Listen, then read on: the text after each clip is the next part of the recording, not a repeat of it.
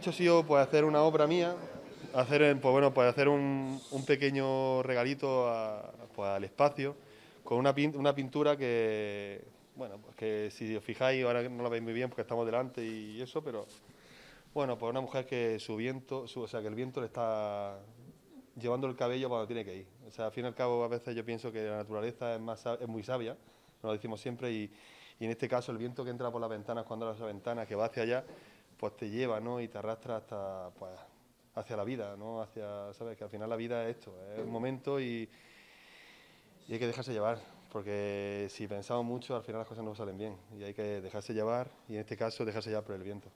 Una pintura, bueno, pues hay, hay un código QR detrás también, con una plaquita, donde la gente podrá ver, pues tener una, mm, bueno, tener una experiencia de viendo escaneando el código QR, pues mi, pues un poquito, un día con Belling. Mi inspiración, pintura, mi vida. O sea, al final vivo la pintura en mi vida y ahí está en el vídeo porque la gente cuando esté sentado por aquí y se canse de ver la obra a lo mejor, pues que puede pasar a la siguiente fase que es ver un vídeo en YouTube. Luego también pues hemos puesto también tres, tres obras gráficas en, en, otra sala de espera más pequeña y luego la veréis y, y está muy chulo. Y al final, bueno, pues pues a mí, pues yo qué sé, o sea, como es de, por mi tierra, pues que hay que hacer cositas bonitas por, por, por, nosotros y por toda la gente que vaya a venir aquí, que ojalá no seamos nosotros. Pero algún día, pues alguno de algún familiar nuestro, pues quizás pase por aquí.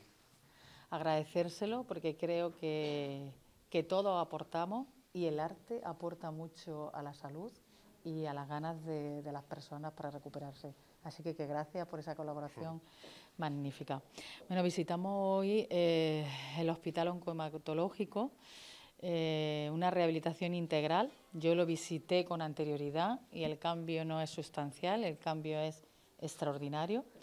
Esta obra está encardinada dentro de todas las obras que, que el Gobierno de la Junta de Andalucía está haciendo en los últimos años. En los últimos cuatro años eh, si incluimos esto, en los últimos cinco años, incluyendo el año 23, se, habrán invertido en la provincia de Jaén 140 millones de euros, que si los comparamos con la etapa anterior, en los últimos ocho años de gobierno socialista, se invirtieron 43 millones de euros en esta provincia. Cinco a ocho años hemos invertido un 330% más. Hemos triplicado la cantidad que se ha invertido en esta provincia. En esta infraestructura, en este hospital, San Agustín de Linares, han invertido 7,4 millones de euros. 7,4 millones, millones de euros, que por recordar obras, pues la UCI, que ya está en funcionamiento y la inauguramos, que fueron 1,9 millones de euros, rehabilitación de la cuarta o quinta y quinta planta de medicina interna, impermeabilización de cubierta y de quirófano, la urgencia. Si hablamos de tecnología y de renovación de tecnología, estamos hablando de casi de más de 800.000 euros y hablamos de la resonancia magnética, hablamos de un nuevo eh, ecógrafo, hablamos de ampliación de endoscopias con dos nuevas salas, hablamos de un nuevo TAS que se renovó el antiguo de 2009 que hacía unos 16 cortes cuando ahora tenemos uno que hace 69 cortes, o sea, un cambio sustancial eh, para la asistencia que se da en este hospital. En la obra de hoy, en este, este hospital oncohematológico, decir que se han invertido 600.000 euros, que supone eh, poder eh, acceder a tratamiento no solo va a estar destinado a las especialidades de oncología y hematología, sino que va a ser multidisciplinar y permitirá que otras especialidades como cardiología, reumatología, medicina interna y otras puedan ser utilizado también este hospital de día pues para hacer tratamientos médicos y otras pruebas.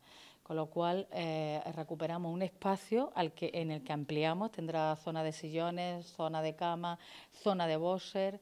Pasamos a duplicar los bosses, a tener 21 bosses, con la capacidad que esto le va a dar a esta unidad oncomatológica, con lo cual creemos que es un antes y un después en lo que había en este hospital y en lo que ahora vamos a poder tener para esa atención en un área tan importante como es la oncología y la hematología.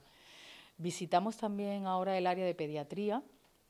La obra está eh, casi al 80%, con un medio millón de euros de inversión y que también vendrá a, a cumplir otra necesidad que es que en la misma planta podamos tener la hospitalización infanto-juvenil, neonatología, el hospital de día con lo cual cumplimos también otro objetivo que se había marcado la dirección y que con esta obra pues también lo cumplimos. Así que, que yo creo que de enhorabuena, este hospital ha dado un cambio radical con esa inversión de 7,4 millones de euros y todavía decimos que nos quedan muchas cosas por hacer pero también se han hecho muchas cosas en estos cuatro años más si sumamos este, cinco años, este quinto año que sería el año 23.